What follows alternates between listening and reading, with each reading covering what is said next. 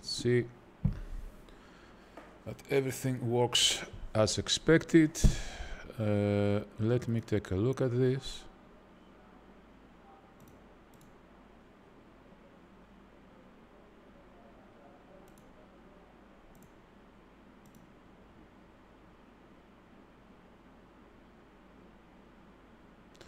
Uh, testing the audio.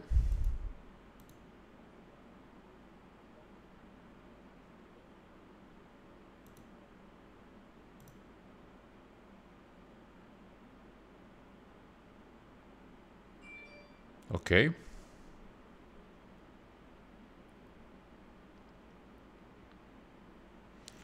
So, welcome everybody. Uh, sorry for this delay, but uh,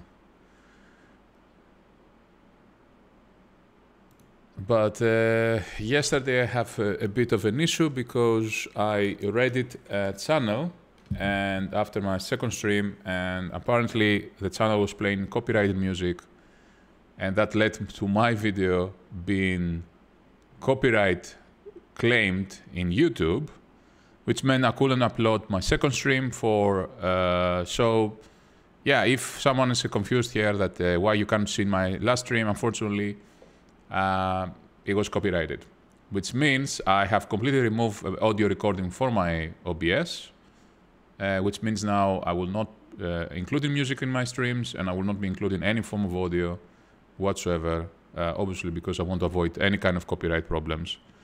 Uh, because YouTube is a bit, uh, yeah, it's, it's YouTube is a bit annoying. Uh, for those who don't know, uh, I'm uploading all my streams here on YouTube, and you can watch them there. And because, of course, my streams I will be, I think they are removed here in Twitch after two months. I've been streaming only for one month now. I started in the beginning of October. It's like one month and a half almost. So you will be able to see my streams up to the first one that I did in, uh, in, the, in the, I think beginning of October or late September.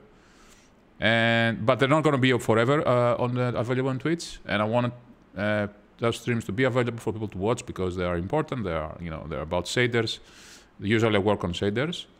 Um, so yeah, uh, the, all, what I do here is always uploaded on my YouTube. Uh, again, you can find my YouTube channel uh, by issuing the Discord command uh, for my bot, which will display uh, what my Discord is and also what my YouTube is. And uh, I have a Discord you can join if you want to ask questions and you want to talk about Godot and uh, procedural generation and shaders. And of course, I have YouTube that I also have included in my about page. I think I have also Discord there included uh, as a link, so you can always go also through my Twitch page and find this information. Now today, uh, as I said, it's going to be a bit of a special day. Uh, I decided to start going a bit back to making tutorials. Uh, I am not a huge tutorial fan as much as I am fan of uh, making uh, Twitch streams.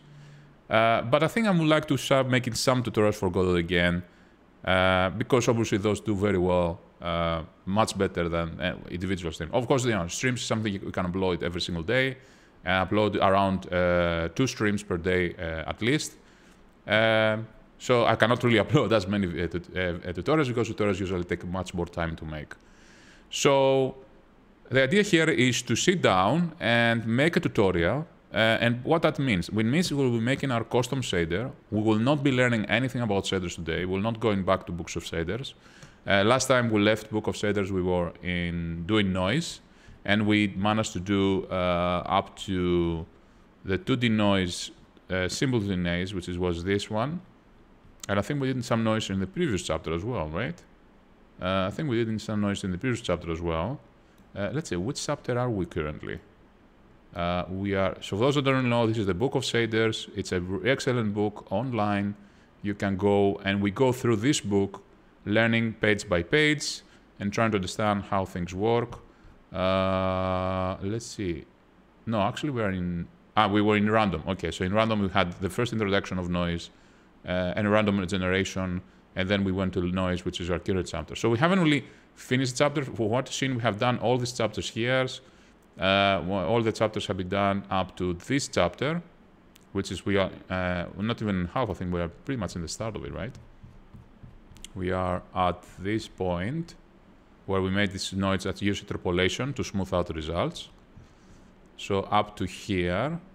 And uh, yeah, and then we have to continue that later on.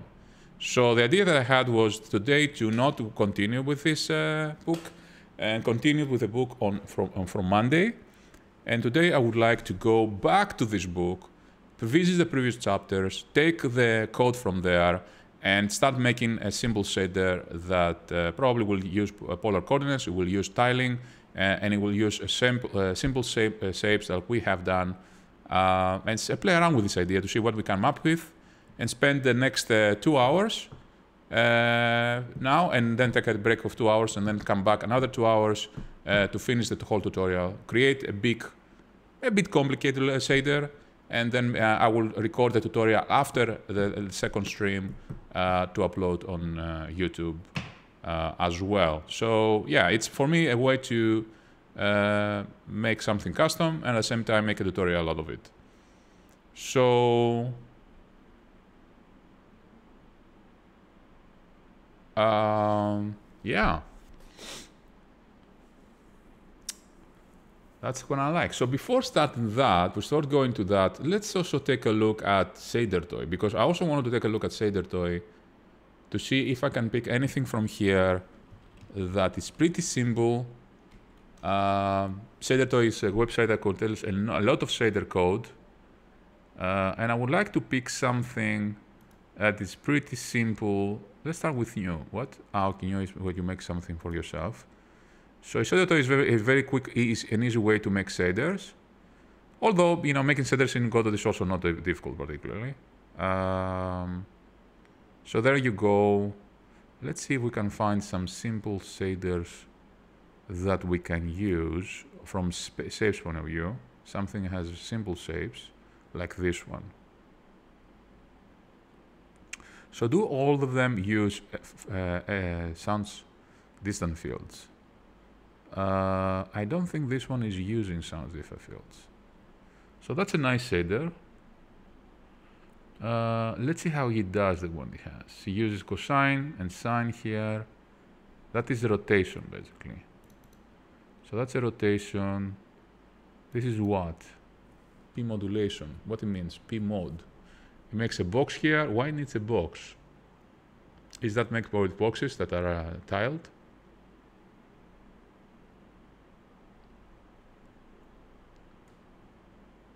So yeah, I want to go through uh, through the shader drawing, and start taking a look at what kind of things we can create. Uh, personally, I would like to do a 2D shader, which are simpler.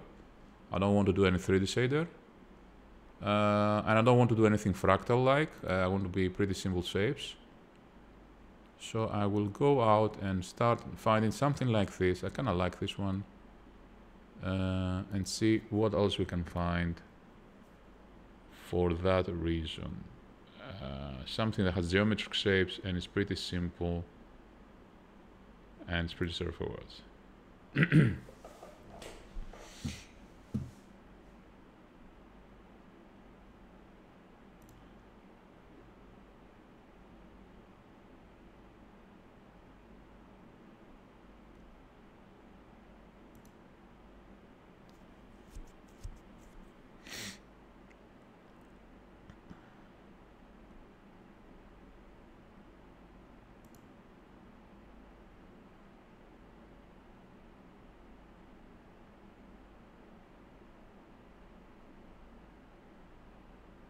That's nice. Let's see this one.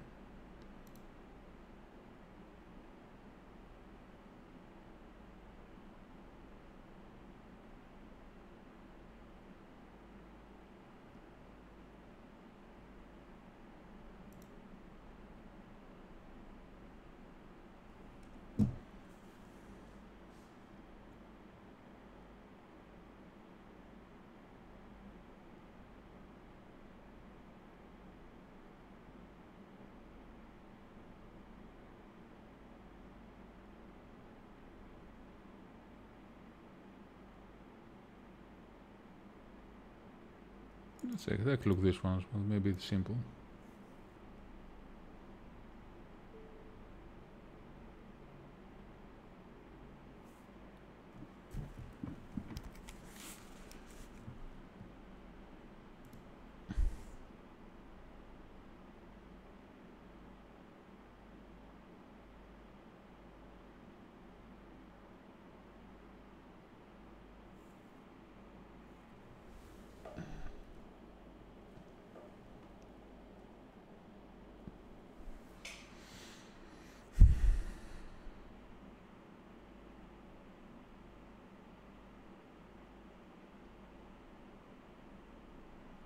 That's nice too.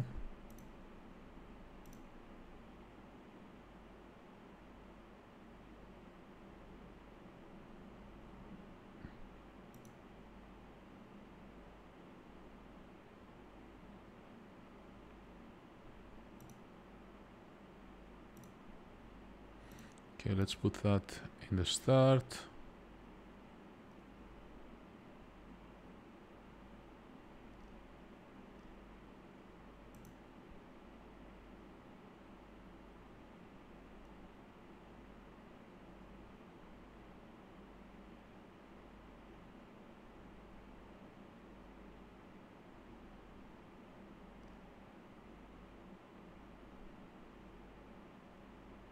That's really nice. Oh, yeah, that's really nice as well. Okay, let's see that as well.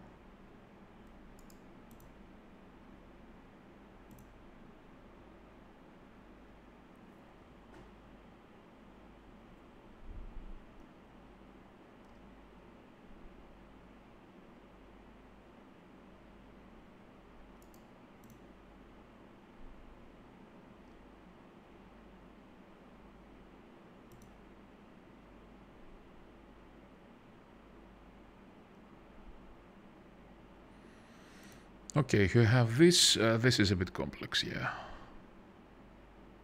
Uh, not this one.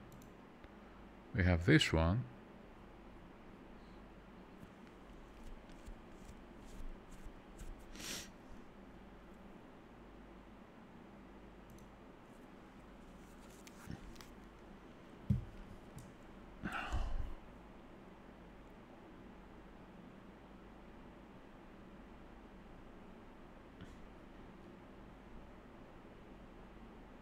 Yeah, it's SDF. No, I don't want to mess with SDFs currently.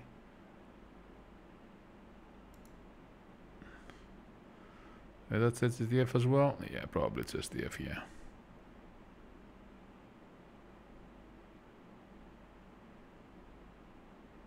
Does it contain SDF rendering?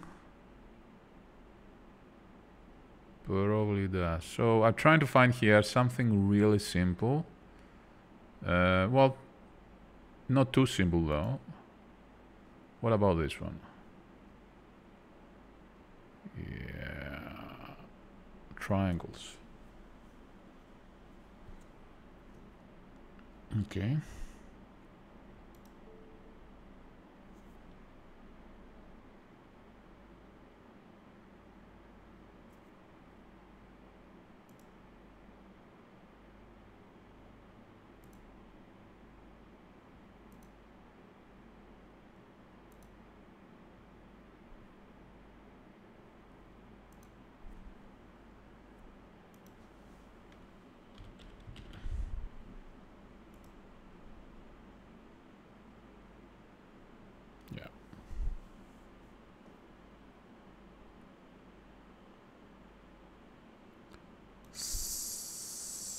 So, uh, let me see. Here we go. Okay.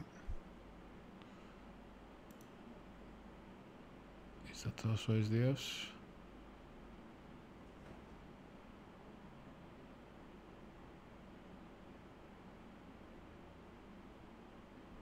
Yeah, that's too complex.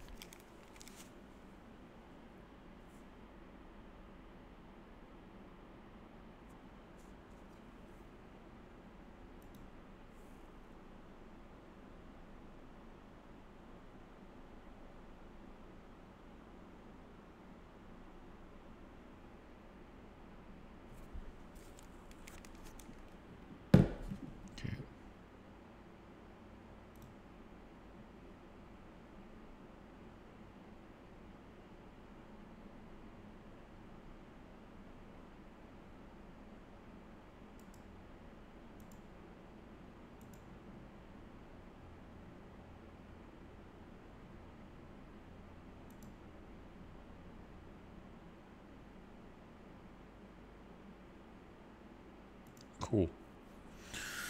Okay. Uh, yeah.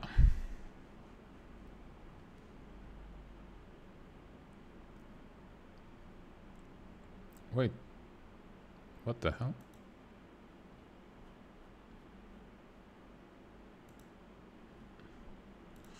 Okay, so now we're not gonna use this. I'm gonna use this. Well, we keep that as well. Maybe we use it. Maybe I will use this.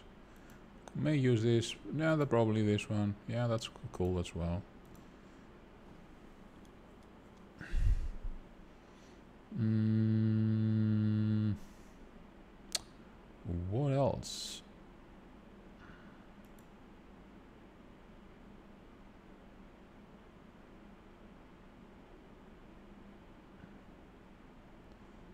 No. Okay, I'm curious about this one.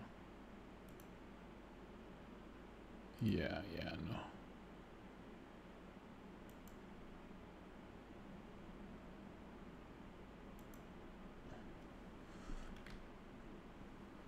Yeah, yeah, no.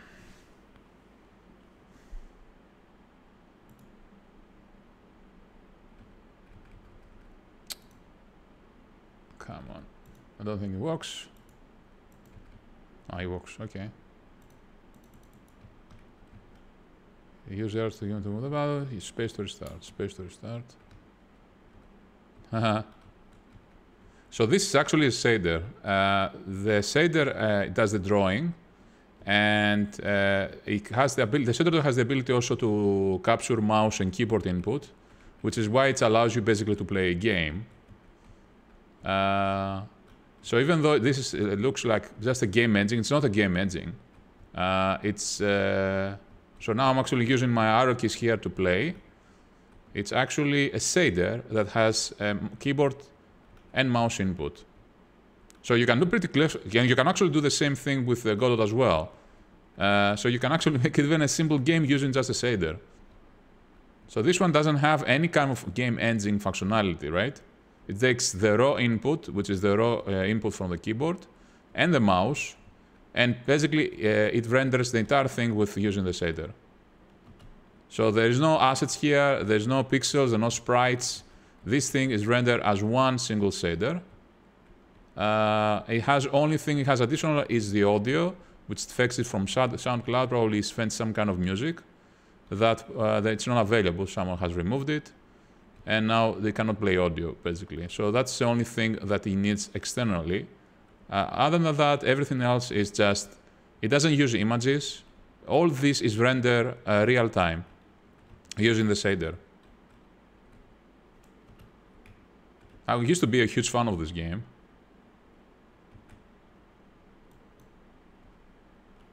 It's pretty good actually.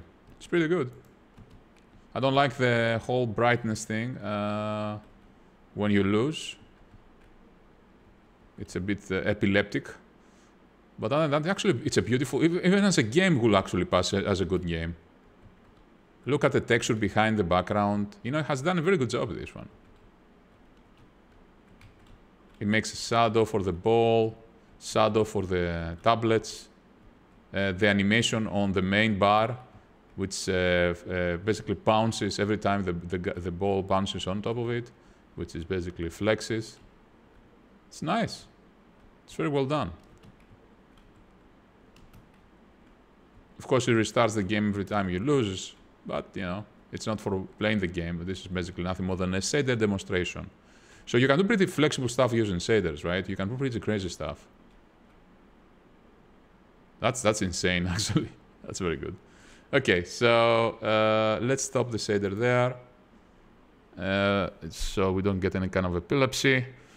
Uh, yeah, and I think it must be using SDF as well let's see. So the code is actually not that bad.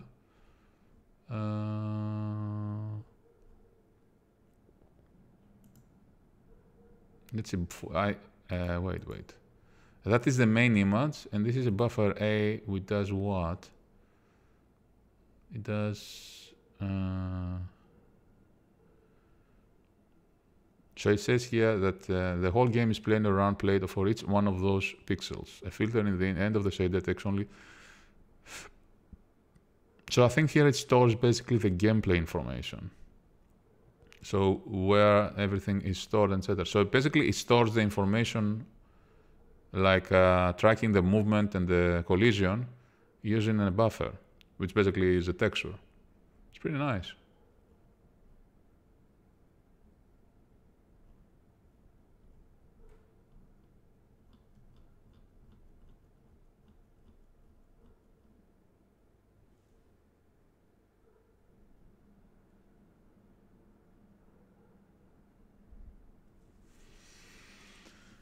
Pretty nice.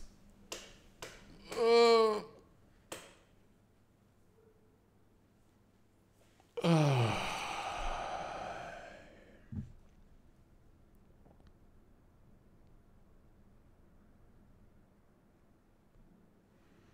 Okay, so we can actually steal some ideas from here as well. Uh, I'm only care about the gameplay, of course. I'm care about the shapes. Uh, so let's take a look at the ball. Smooth step.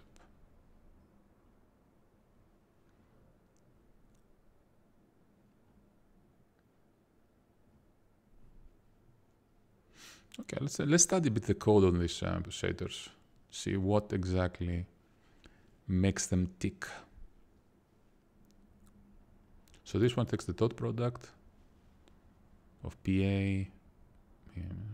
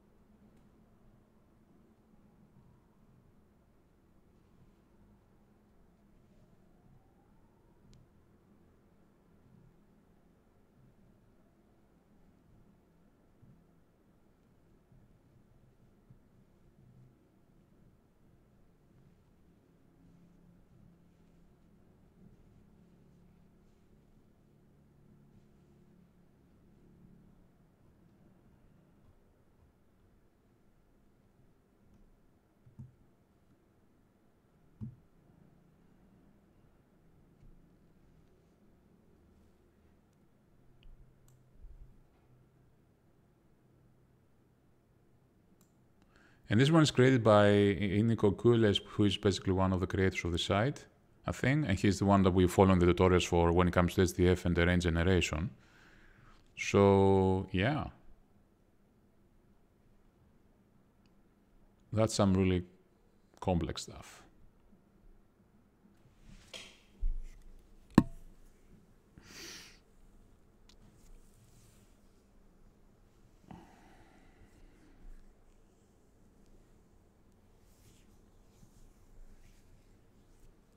Oh,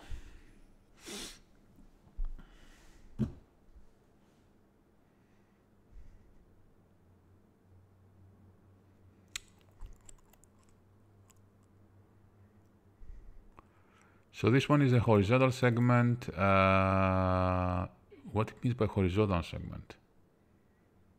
And what it means by UD, by segment, horizontal segment.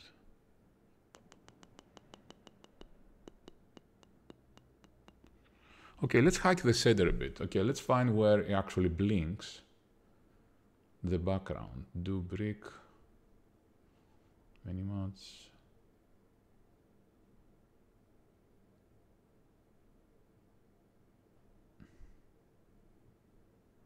Gather glow.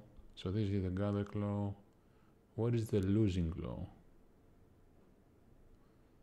Border, score, add emission, game over. Okay, here must be the game over. Uh, let's change that. Uh, okay, how about we make this one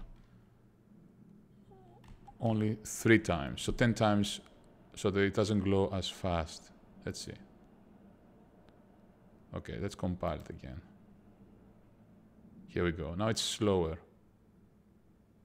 Okay, how about we make also the transparency uh, so as this is RGB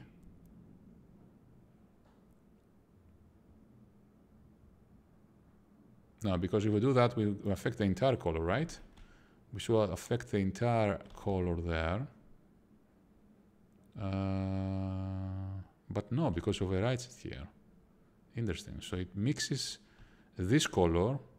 So we can get this color. Uh, let's take one. What happens if I put it to one?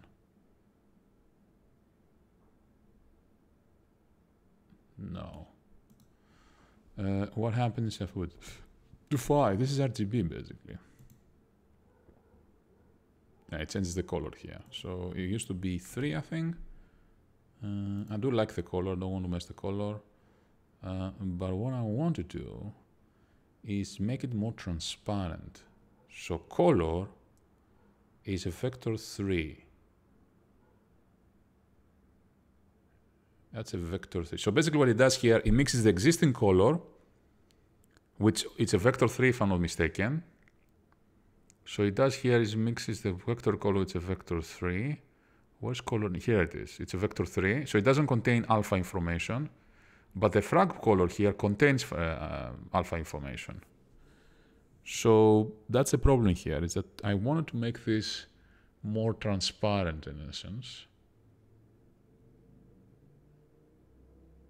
Uh, so now it's not that epileptic, it's a bit more gradual. Uh, so what is this doing? Why in multiply 0, 5, 0? state. What the state is. What if we do that as a zero instead of state? Okay, sinus expects to be uh, probably this one. So as you can see now, I eliminated the, because basically uh, it was the one this one that was doing the color uh, fluctuation. And all I have to do is pass the zero, and now it doesn't blink anymore. Which is nice because we want to be able to play with the shader here. So let's take a look to see what, first of all, uh, these things here are. Horizontal segment. So let's see horizontal segment. Uh, what is an horizontal segment and how it actually affects us? So let's add a 10 there to see what affects first of all. Okay, so it, when you see an error, basically, usually it actually needs floats instead of integers. Okay, so the horizontal segment is the up, uh, it's up there. So this one is up there. It's uh, the the um, the higher border. So those are the borders. Uh, those must be the segments, and horizontal segments should be the top segment. What is the round box though? Uh, round box is used for what? Let's see the round box here. So we add random numbers and see how they affect the result and we can spot where they're used exactly. Okay, so those ones must be um, Let's uh, make it a bit lower. That one must be, hello, not even that. Okay, so let's do it a bit lower then. Uh, 0.1. What? Why? Why even 0.1 is, is not enough? Okay, so do it like that. Why it's so sensitive? 0.01. Okay, okay, we see something here. I, uh, that should be actually be the drawing function, uh, the drawing drawing function. Okay, look, look at that. So must be the drawing function for uh, the cells themselves, for the bricks in essence, for the bricks to be more precise. And it seems to do what? Change. It seems to affect the border of the bricks yeah, it seems to affect the border of the bricks. I think it actually makes brick, uh, the border uh, uh, thicker. Yeah, I think this one is the border of the bricks. Is it? It's kind of weird. Okay, let's go back. Yeah, this, this must be the border of the bricks. Okay, let's see 0.01. What happens in this case? Yeah, I think it's the border of the bricks, most likely. So this this is how you calculate the bricks. Uh, is it? I think it's a, just the border, though. Is it just the border? That I don't know. I know this has to do with the bricks here, but I don't know if. Uh... Okay. So that is the sign. Uh, you use the hash one for what? Uh...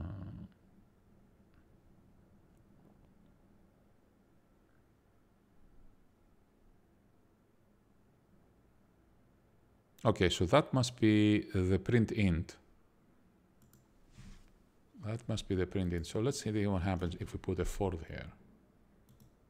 Okay, so we can actually uh, increase the amount of uh, the size of the int here, okay? We don't care about that. Um,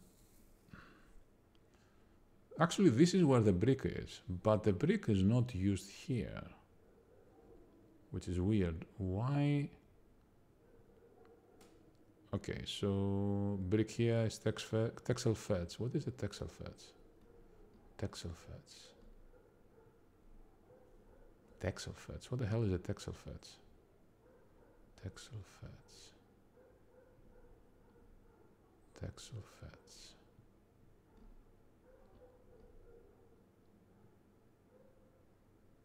Texel fetch.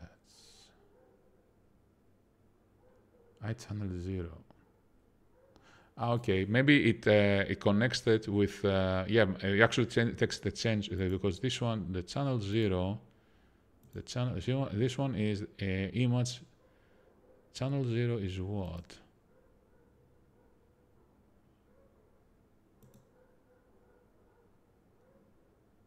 That's weird.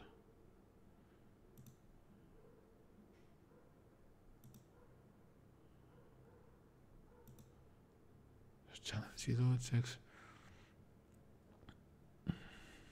I don't understand this one. That, that must be some kind of Shadertoy functionality.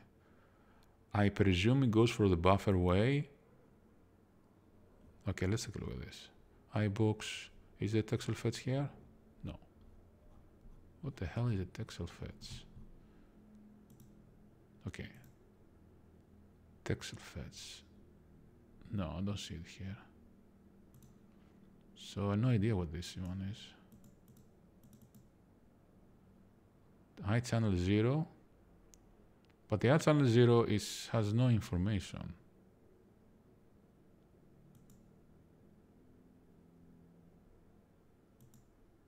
Unless I'm missing something here. Probably it has. Uh,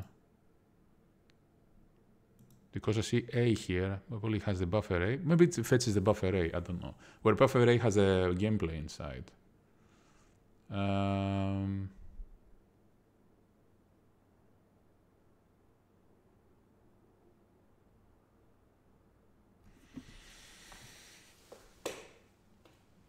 oh. oh.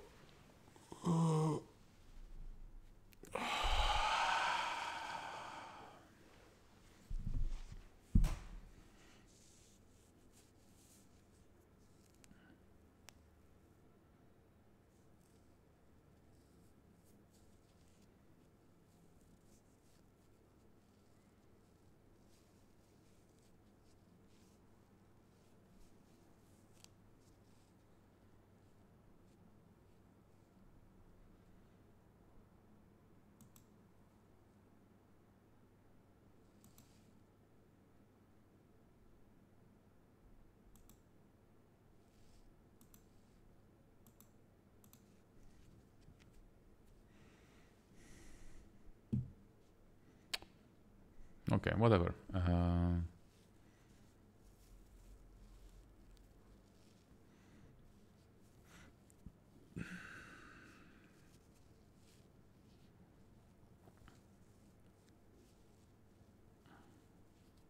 Yeah, I think it, it takes ball uh, position velocity. It takes ball velocity, ball, ball velocity. I think I've seen it somewhere. Uh, yeah, position post velocity.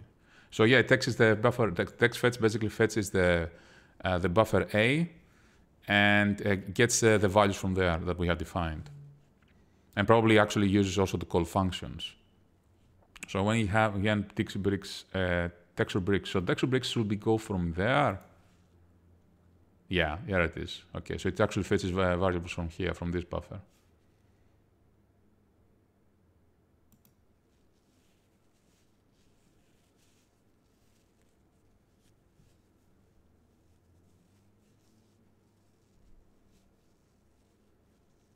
This is one things I would like to do with my streams. I want to, uh, you know, I will say I want to do a lot of uh, theoretical stuff to study how shaders work and understand the math behind it.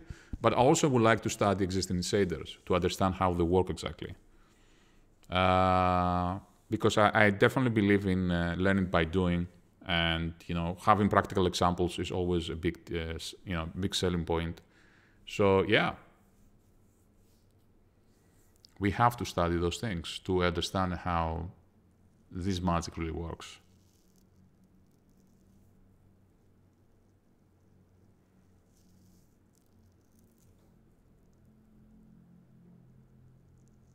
So what I'm doing here, I'm reading the code, trying to make sense of things. Obviously, what we see here is nothing more than math and uh, you know multiplication, divisions, and all this kind of stuff. So it's pretty pretty random, right? Uh, but you start seeing patterns. When the more you look at the code, the more you start seeing patterns and start recognize things. Like for example, the use of sign, for example, is very common. Uh, the use of the hash function. Uh, I think this one is basically nothing more than a randomization.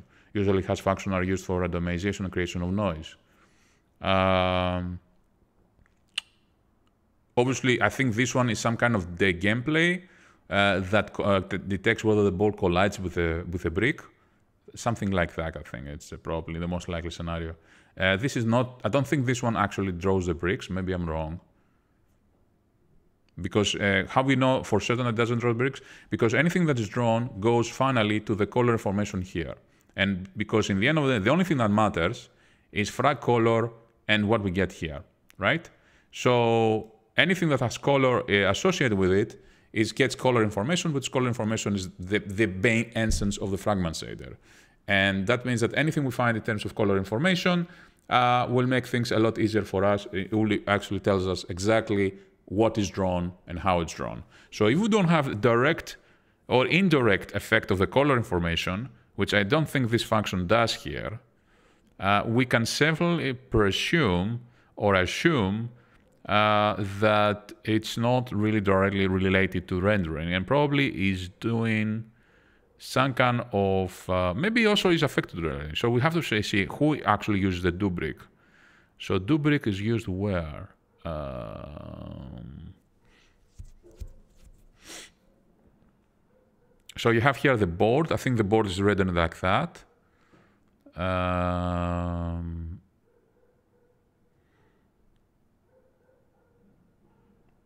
you have there the bricks. We have the soft shadow. Uh, I think this is the soft shadow around the bricks.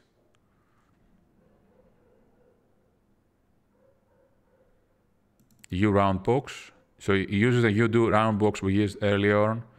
Uh, so the UDO round box basically is doing the entire box, the entire cell here, I think. Uh, probably, most likely. So it uses that to make a shadow out of that. That then probably smoothes out with the blurs with a smooth step. I will assume as well. So is there a smooth step anyway? Yeah, there's a smooth step here. So this one actually, if we uh, mess with that, it should actually make the shadow a lot crisper. The only problem with that is that, no, actually it does the opposite here. It makes it more, uh, more intense. On the x-axis, uh, let's make it then, uh, what was the value? I think it was 0 0.5. Let's make it 1.5. Yeah, so that shadow now almost disappeared. Uh, so 0.5 I think was... So this affects only the shadow of the bricks here. Not the shadow... From what I've seen, I don't think affects the shadow of the paddle here. Uh, no, I don't think affects the, the shadow of the paddle. Um, so let's, let's let's give it a try again. So 0.1 was much bigger. No, it doesn't affect the the the shadow of the paddle here. So that is the side of the bricks. Okay. So it actually says that bricks, bricks, bricks, do brick. Now here is the do brick. So that means that the do brick is do used, is used for the rendering of bricks. In this case, is used for the rendering of shadows. But is it only safe shadow here? What will happen if I comment this out? Uh, probably it's not going to be a good idea.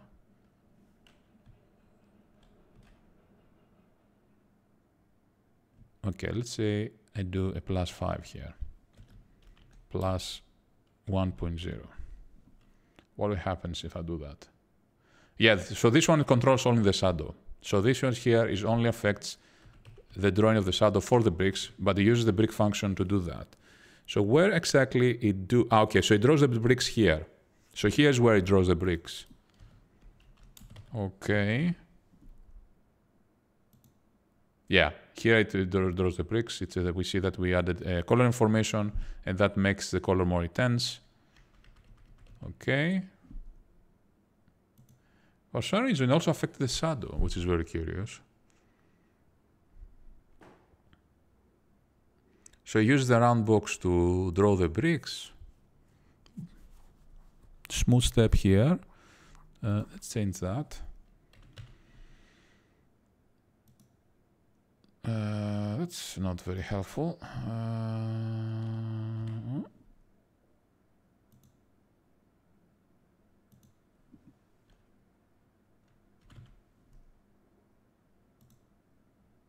okay. So wait, wait, wait. So that means that this guy here, no, it still draws the border around it. So that affects the glow. So the glow basically means it leaks the light information, the color information to the other area around it. Oh.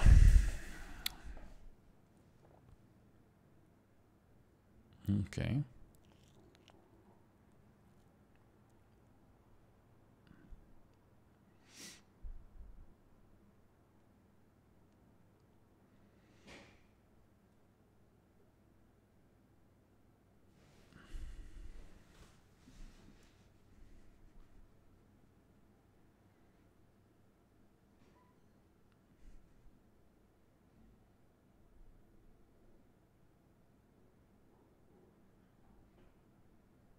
So how you draw the ball? Do you have a special function for the ball?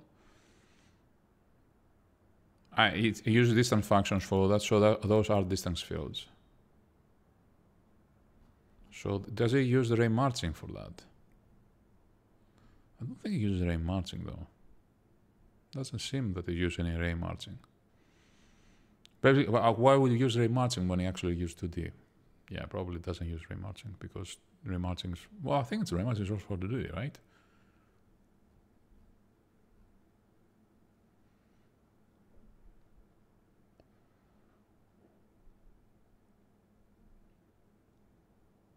So this is the paddle.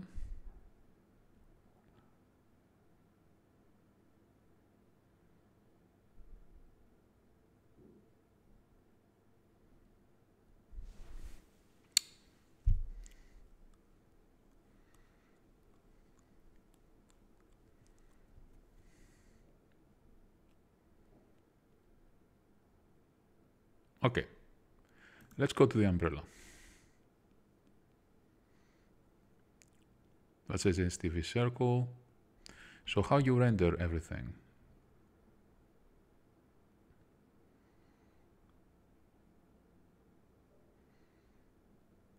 So you don't need anything special to render those things. This is line, this union. So basically it, what it does here is joins shapes together.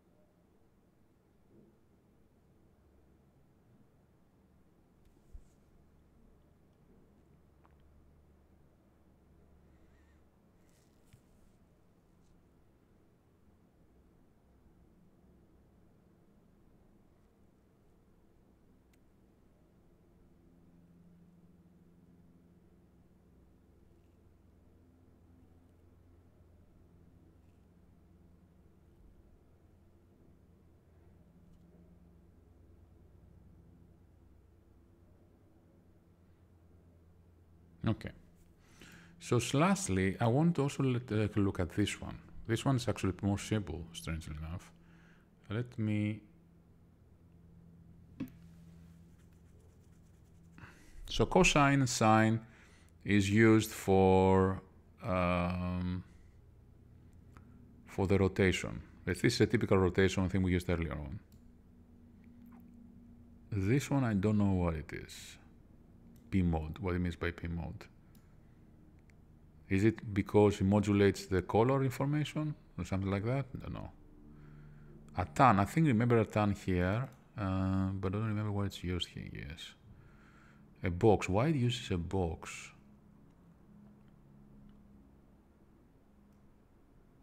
So this is actually a small piece of code. I would like to, to do something similar to this. I kind of like this one.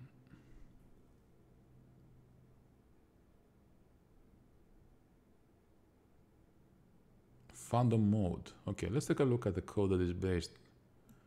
So Phantom Mode by aiekick. So what is that? Phantom Mode.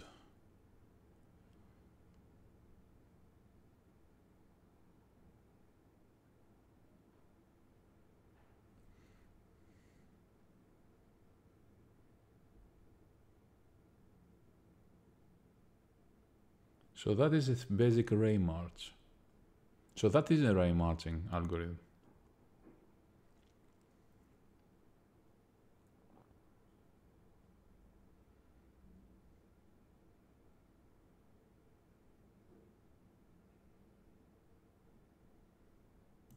So let me put that together. So that this one is should be an array march for int.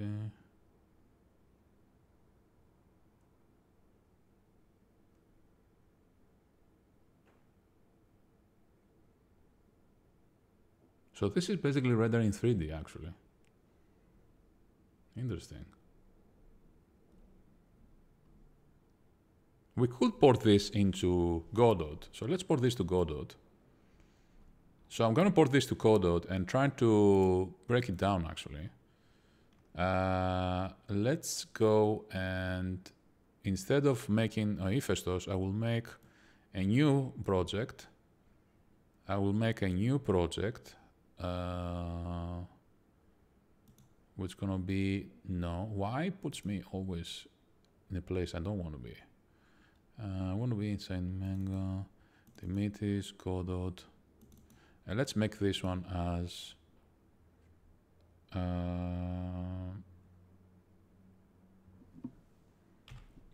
shader, custom shader tutorial. Custom, actually, no, no, no, no, let's do it like that. Let's create folder custom shader tutorial. Okay, select folder, and the bronze name is going to cost, cost us some tutorial. That's fine. Create and edit. So I'm gonna go back to what we did last time. Oh, we're gonna need the player, however. To... Do we need the player though? No, we don't really need the player. We, we, we don't really care about moving.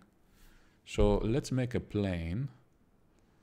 Uh, no, so I'm gonna make a player. No, that's not necessary. So let's go and make a plane. And makes a 3D scene. Uh, I would add, actually I could go with a 2D scene as well if I wanted. So let's uh, add uh, a camera. So let's go here, the camera. We're gonna need the camera, of course. Uh, let's then add a plane. So outside node. Uh, no.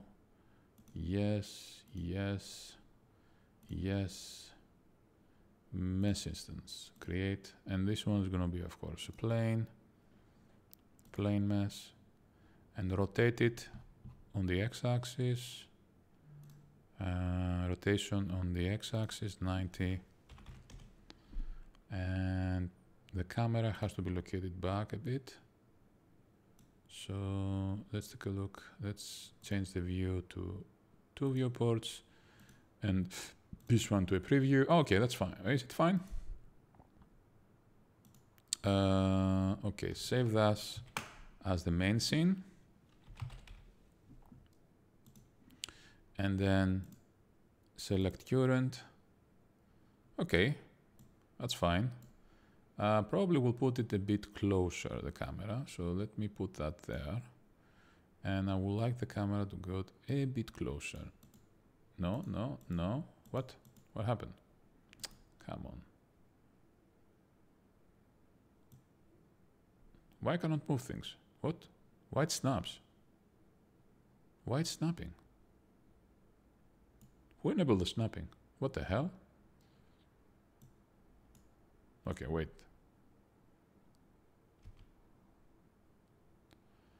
Maybe that actually does the snapping? I don't know. Okay. Why I cannot select things? What the hell? Select the camera. Select the camera? Camera. Seriously? Why? Okay, that's a bit better. Okay. Okay. Okay. Okay.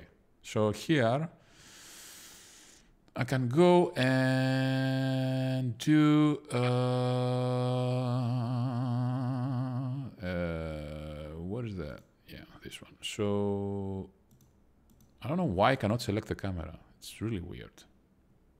So I will go here and say, uh, how do I join the views? Okay, the view is going to be one viewport and remove the view review and let's zoom in. And there I'm gonna go to material. I'm gonna make a new shader material. Open that. And of course I'm gonna make a new shader. Open that. And I'm gonna copy paste here the code. I don't think we have any more code here though. I think it's pretty small code let's see no I don't have anything here more than that okay and I'm gonna go to the Godot engine uh, actually, let me close the second window and save that. Uh, and we don't need this, but we need to put uh, shader type um, spatial. So that is important. Uh, so that, yeah, the, mater material has to be uh, two vectors, I think. That, that actually we have to be worried about that. Uh, let's see. Okay, let's go back to the main image and change that to fragment shader. Uh, fragment. Uh, fragment. Uh, it doesn't take inputs, so frag color and frag coordinates are meaningless. The frag coordinates is going to be the UV. Uh, we're going to need a resolution. Okay. Uh, so let's make a, a uniform float. No, actually, it's not float. It's vector 2. Uh,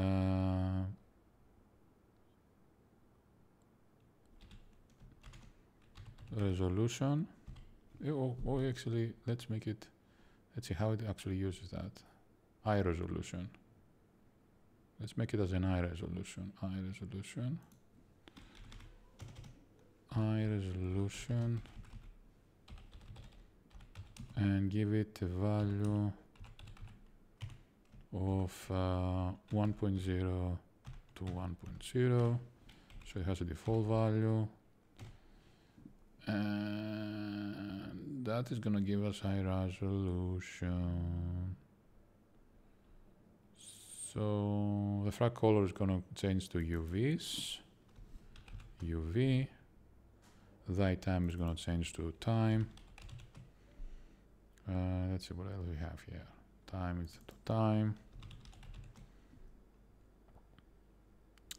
And yeah, and frag color is going to change to frag color change to not for frag color. Um, no, I will change that to uh, it's albedo equals with color with col.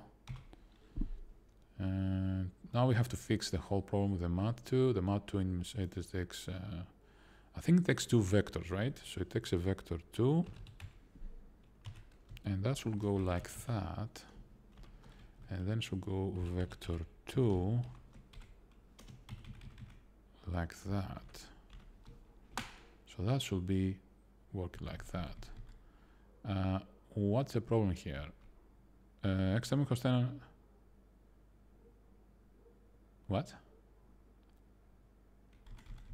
so that should probably go up there with the definition of variables.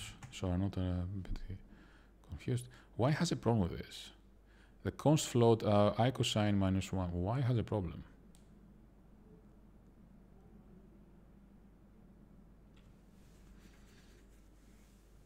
It doesn't like this. So let's change that to pi 3,14. Let's see, is it? Uh, yeah, that seems fix the problem. Uh, Okay, so we need to find the pi. So let's see what the pi is. Pi math. Uh, pi is here. Let's see the, the full number. Uh, 3.14, okay, so let's use this number here. It's not as lengthy as the other times we used the number, but it should be more accurate than this one. Uh, and what problem has? I time. Yeah, I time doesn't exist. It's time. And this one is time as well. Uh, this one is also time. With capital letters. What else we have here as a problem? No, that's fine. Uh, yes, that's time as well. So we change to the constants that uh, Shader is using. And here we go. It's ready. So this is our uh, animation. So we ported the shader from Shadertoy. Cool. Right. So all we have to do now is understand uh, the shader, and I would like to change it around to make it a bit more different. Um, so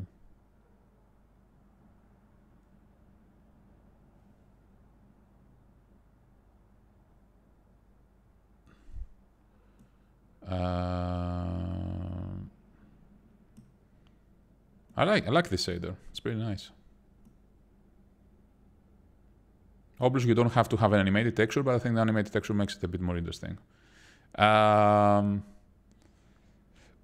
so yeah, I will take a break for uh, around 10, 10, minutes, and we come back. And what we were doing today is that uh, I will dedicate an hour to another two hours later.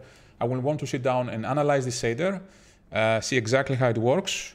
Uh, probably it uses SDF as well, from what I've seen. Uh, let's take a look at it. I think it uses SDFs, if I'm not mistaken. Yeah, it uses ray marching, which is here. So let's look at ray marching as well. Uh, and yeah, and uh, we have an interesting shader here, which I would like to walk around and maybe modify a bit, change the shapes a bit, make something a bit different, change the colors a bit, maybe. So yeah, we're gonna be heavily customizing it. Uh, but yeah, it's uh, Where's the copyright? I also would like to keep the copyright on the shader. Uh, let's make sure that we people are copyrighted and yeah. Okay, so I want, I don't know how, well, no, no, no, it's not this one. Where is it? We used uh, this one. Ah, it doesn't have a copyright. Okay, who, who is the original? Uh, by Kasari. Okay, I'm gonna use this tag here. Uh, and I will put it the copyright inside our shader because we have to be properly, you know, properly. Uh, I think it takes multiple comments, right? Yeah. I never see any shader using this kind of comments. Uh, even so, created by Kasari, uh, original shader. Let's say original shader.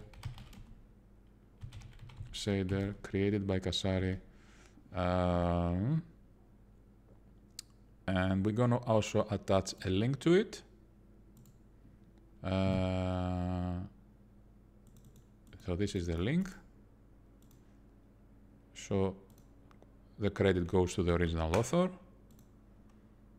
And yeah, and leave it like this. And I will take a, a 10 minute break, uh, relax a bit, and I will be back to, uh, yeah, to continue with this. Uh, I really like that.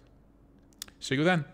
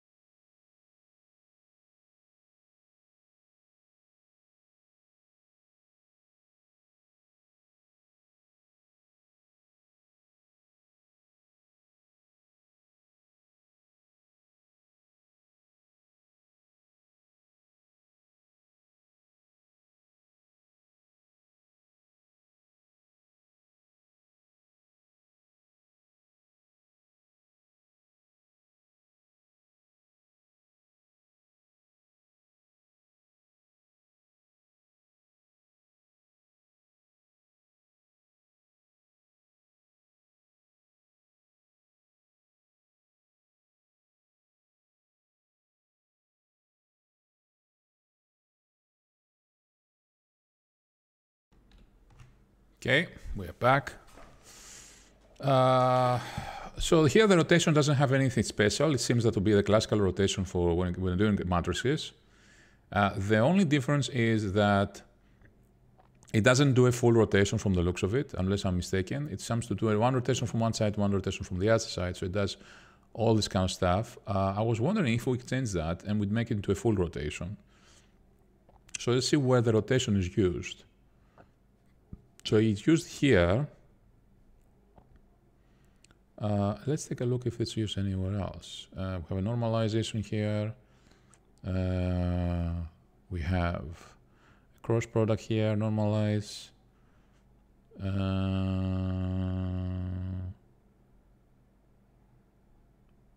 so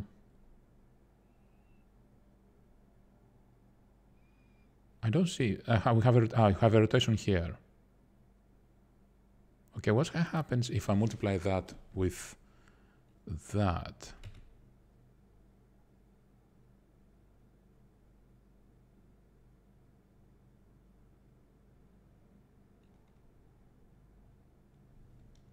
I don't see much of a difference, unless I'm mistaken. It seems to affect the shapes a bit.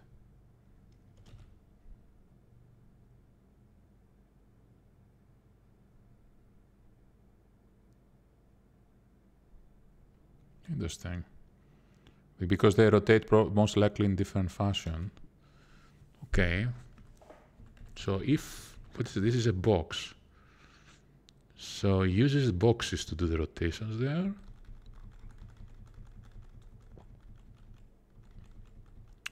So the P is the position.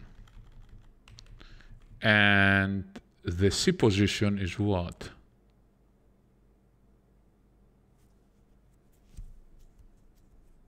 Okay, we see also he has commented out some code here. Let's take a look at this code here. Uh, let's first of all change that to time in order to work well. And let's change that to time as well. And is it anything else here? Yeah, there's also more time here.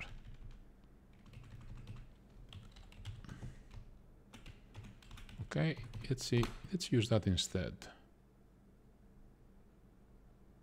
That seems to be, yeah, that seems that it, it moves things a bit out of alignment. Okay. Well, this one keeps things in center. Um, so we have here the supposition. Uh, we have here y and z, and the z is the one that is fluctuates. Why is it the z though? Isn't the Z towards us? Right? So it makes sense. Yeah, of course, because it fluctuates how things come closer to us, because they basically the shapes come closer to us in essence with this movement. Uh, what happens if we make it positive? So you're going to have, now it has a, a reverse action, both things moving away from us. Okay, makes sense. Because if it's positive, but what is this position? It's, it must be we are the way the one moving. So if we're moving forward, why it's the opposite here? Because the y, the z-axis is positive towards us. Why it goes exactly the opposite way here? Why turns a negative to a positive? Because that axis here, if we see it, is this is the, the other always depicts where the positive goes, unless it has reversed the axis here some way. The way it renders those. Maybe it has done that. So let's take a look at it. So it calculates through, uh, no, actually it's a vector. Okay. But there is a normalization towards the direction. So maybe that's the reason. So if it normalizes and does a y uh, negative, that means that it reverses the y, the, the, the, the z-axis. So if it reverses the z-axis, if you do this, yeah, that's, that's, that's, that's the correct one. So now it moves the direction I expected, because if it moves negative, it should moving towards the back, towards, you know, because basically the positive towards our face, the negative is towards away from our face. Now it moves away from our face. And the reason behind that it was because he was using, uh, he was basically negating the direction here. I don't know why he's negating the direction here. Maybe there's a reason for doing that. Uh, but yeah, let's let's change that to positive, and now it should probably achieve the same effect. Now it comes again towards us. I don't see much of a difference, to be frank about it. It seems the same to me. But I don't care. Uh, I will keep it like that. So let's make this modification here. Uh, the CAP is uses a sign here. The sign, I think, is why it moves like that, where if we remove that, and instead of sign time, we say uh, 1.0. What will happen if we do an 0.0 there? So now we see that movement is much more gradual towards us. And frankly, I prefer that more. I think that's, for me, it's, it's a better thing. So now it has a continuous movement towards us. Otherwise, the sine wave, basically the sine wave was doing this kind of very up and down movement, right? Which frankly, I, I find it uh, kind of distracting. I really prefer this one more. So that is one thing we're gonna change. Um, that I don't really know. Seaside, what this seaside is doing exactly, and why we need to do a cross product for the seaside. Okay, let's remove the seaside. Actually, we don't want to remove the seaside. Let's do it like that, and let's give it a, I don't know, a 1.0 standard value. Let's see what it does. So it's a vector 3. So we have to do it like that then. Vector 3, if we pass it a single value, it's going to fill the same value for everything. So what is that doing? Okay, we need also for first column column. Okay. So that basically affects the coordinates. It seems to stretch things here. Which is why it uses the cross product most likely. So let's go back to using the cross product. Okay. Uh, let's change the colors first of all. Uh, how we can change the colors from blue to a red this thing. Uh, this one is the ray trace function. So I think it's this one.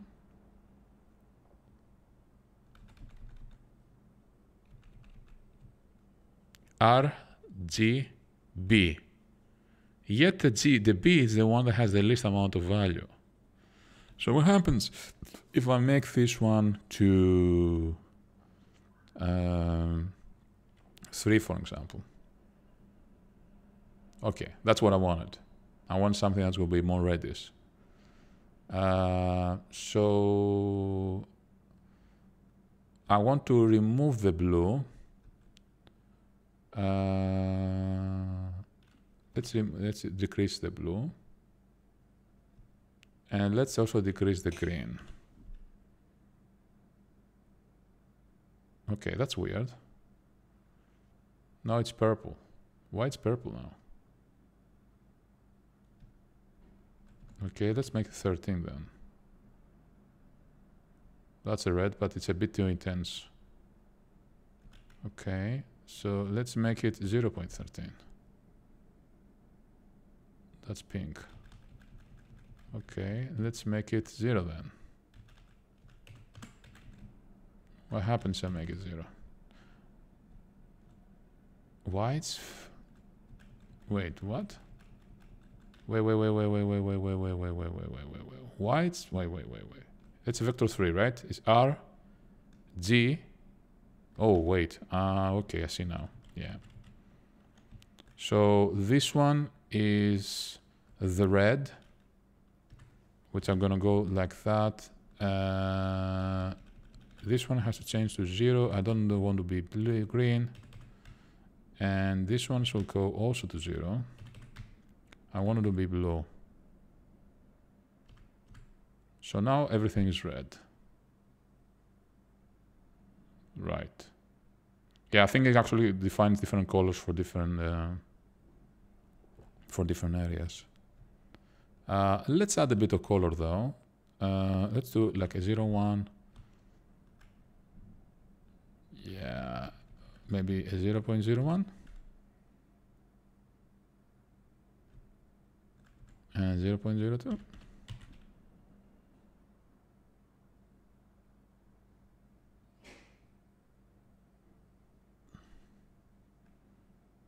Okay.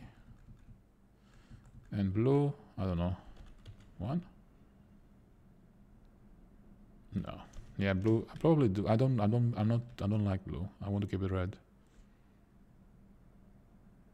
Okay, let's keep it red. Let's keep it as it is. Uh, what I want to do though, I want to see if I increase the intensity of uh, the red, what happens? Okay, that's a bit better. I think that makes a bit more sense. Let's see, three.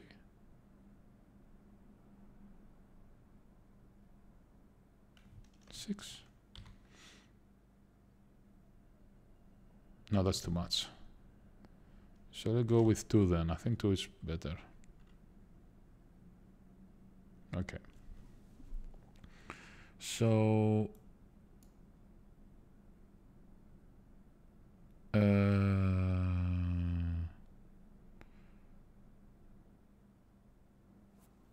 okay.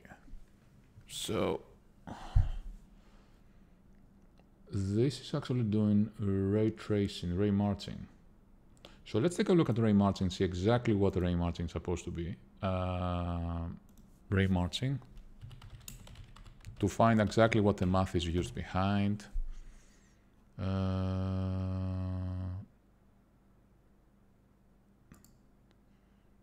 Okay. I think that article is for that. I don't want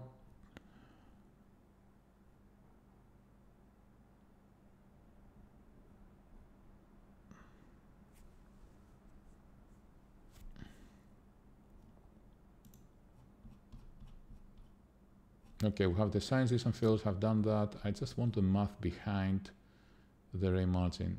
This is the margin should look like. So if distance epsilon, so epsilon is the difference between distance within set, uh, since the SDF uh, is influence, since then SDF, A plus depth plus view right direction. So that's exactly what the ray marching is. So let's take a look at our code. So our code is, uh, this one is the ray marching algorithm. Um,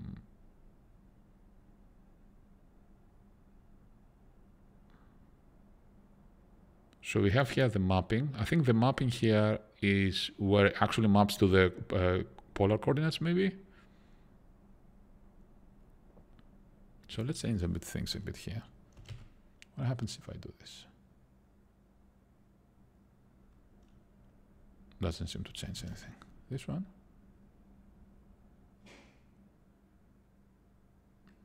So which one was uh, two?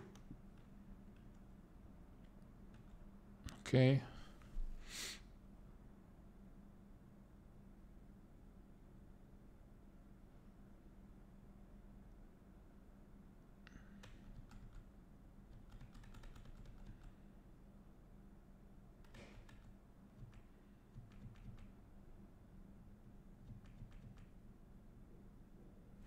Okay, let's look how it looks like when we use it here.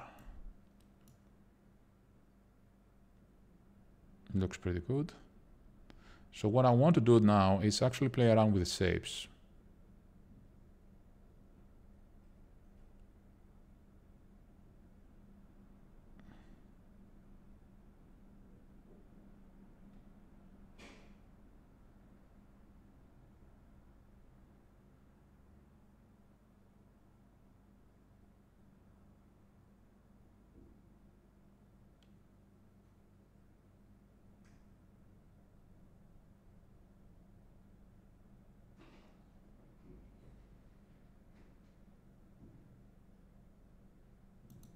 Let's play around with shapes.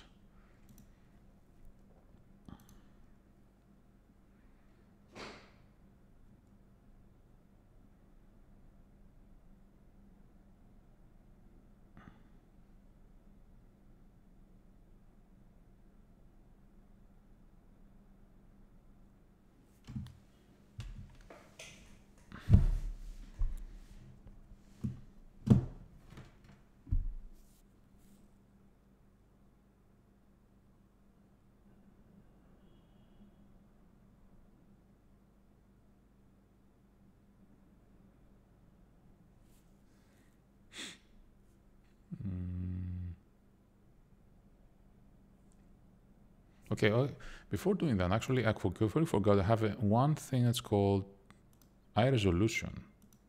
What happens if I play around around the resolution? So basically does the same thing we said earlier on. Uh, it basically stretches our coordinates. If I do that,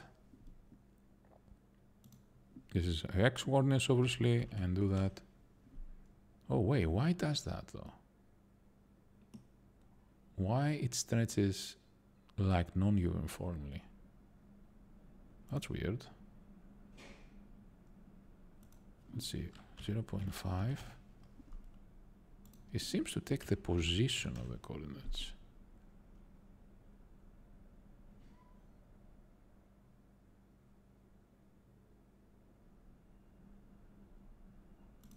Okay. Uh, let's take a look at the code. Why does it stretch stretching like that? I takes the minimum. The minimum. Uh,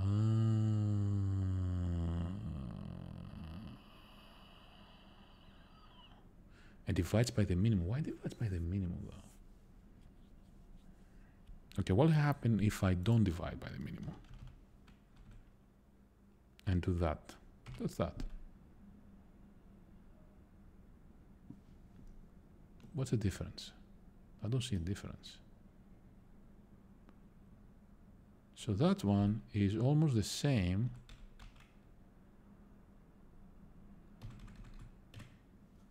as this one.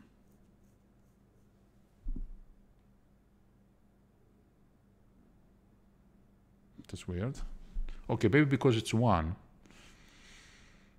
Maybe because it returns one in this case. Uh, so this one is the speed of time. I think if we increase that, we're going to increase the acceleration. If you go 13, for example, so go much faster. So you can see here it's much, much faster. So this is going great fast. Obviously, that's meaningless. So this is the, the, the way that it dives inside the shape and creates this uh, animation. Uh, so obviously, we don't want that and we don't want that either. So I think a three, a three is pretty fine. Uh, we can go also slower if you want to, like a one. But I don't really like, I think three is better. Yeah, because it, you, you cannot even see the movement because of the shapes that are changing. So here makes clear that there is a movement. Yeah, no, I'm gonna keep it like that. I really like that. I think it's a good value. Uh, so this one is, and it happens on the z-axis. So for example, we could move to the x-axis. So let's try that. Let's move to the x-axis. Uh, so let's take that as it is. And instead, uh, put it in here with a nice comma and see what happens if we put it in the x-axis. So as you can see now, we move to the x-axis. It's a different effect altogether.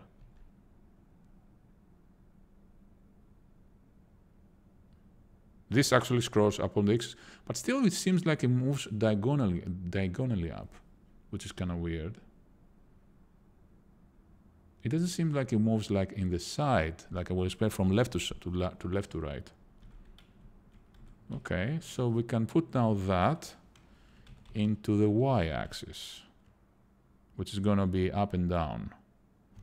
So that is an X, this is the Y, and this is a Z. So what happens in this case? Yeah, it's definitely, there's something screwed about uh, the coordinates there. They don't seem to be aligned the way that I, I, I, th I think they're going to be aligned. So I think something is not correctly calculated. Well, it, it kind of works with the, the way the set is supposed to work, but I think the way it calculates uh, the C position is something different, unless it because it do some kind of weird uh, wrapping of space. Uh, hello, today your interconnection isn't the best again. Yeah. Yeah, sorry about that. Uh, but the stream is going to end anyway in a, in a few minutes. I will uh, probably stop it. Uh, in 10 minutes, I will be ending the stream. Uh, sorry, welcome to Deep Entertains. Thank you for joining once more. Uh, yeah, I will not be streaming for much longer. I know there's a lot of lag. Sorry about guys. I don't know why there's so much lag. Uh, hopefully I will get better.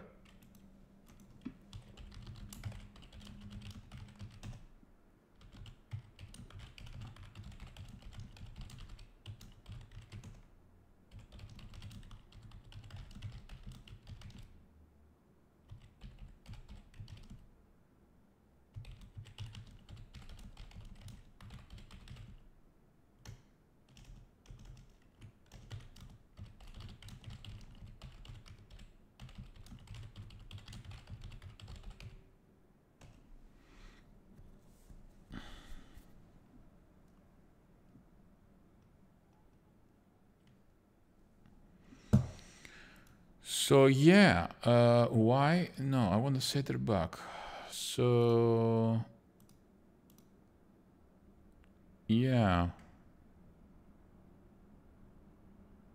I don't know. So the, the corners here are different. So what we're gonna do is I probably will be ending the stream in around 10 minutes. Um, and I will um, I will then return in another uh, three hours and come back, hopefully with better connection, uh, so we can continue working the shader. I'm not 100 certain that I will finish the shader today. Uh, maybe also I will do this on Monday as well. So I don't know if I will be able to finish the tutorial today uh, because there's a, a lot more to understand. And I kind of want to figure out how this shader works because I really like it. Uh, I probably will use something similar in my game. So yeah, uh, let me check to see exactly where we are.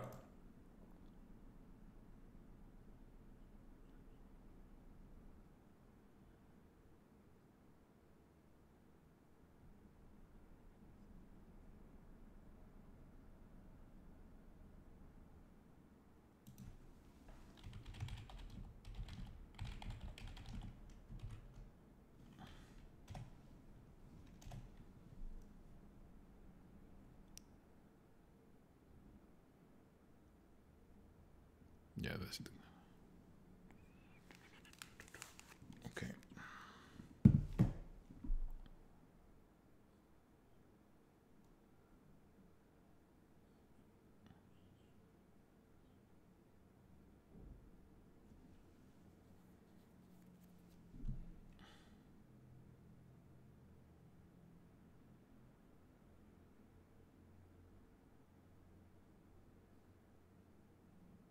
Hmm.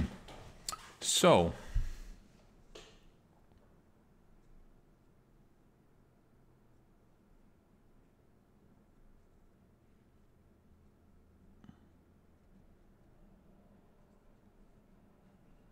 Yeah. So I will leave the, this one for now, uh, clean up my head. Uh, I will end the stream here. Uh, I will uh, I will not stop the streaming. Uh, I will continue because the Twitch has to catch up. There's, uh, I think it's pretty several minutes behind from the looks of it. So I will, um, yeah, thanks everybody for joining. Uh, I will be returning back in three hours. We need to do a lot more work with this. Uh, it's clearly that we have to understand how ray marching works and all this kind of stuff. Uh, I think it's pretty simple. It's not very difficult. So probably we'll do a bit of ray marching also tutorial when I return. And I think I will take a bit more making this tutorial. This tutorial will probably take me uh, a couple of uh, more sessions to really understand how it works and how it behaves exactly. But it looks fun. It looks entertaining. Actually, let me fix that because we haven't fixed that. Uh, why it's okay. Let's let's revert that to where it was because I don't like this way. Uh, yes, put it here and control paste that and remove the code and now should work the way it's supposed to work. Yeah. And we'll be coming back and seeing uh, you know how it works in a, in a higher depth. So thanks everybody for for uh, for joining. Uh, see you all guys. Uh, yeah a bit uh, uh, a bit in three hours most likely probably in three hours from from looks at it. Thanks everyone for joining. Thanks deep, deep entertains for being here. And yeah See you guys later in three hours. Bye bye.